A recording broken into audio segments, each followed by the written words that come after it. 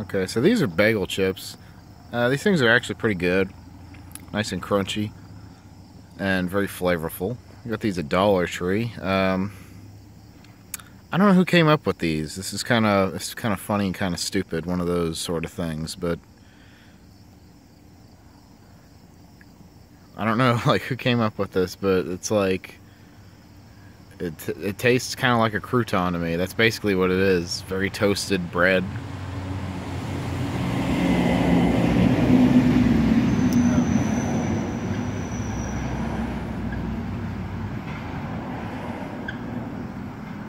Sorry, cars going by. Uh, yeah, it's very like toasted bread. It's like a crouton, basically. It's like somebody was like, "Hey, why don't we, why don't we make something for people who want to eat just a bag of croutons and not have to feel bad about it? We'll call it bagel chips." like, I don't know who came up with it.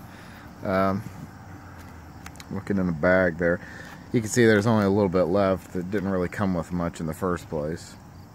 And apparently I'm one of the idiots who wants to eat a bag of croutons and not have to feel bad about it because I've been munching on these.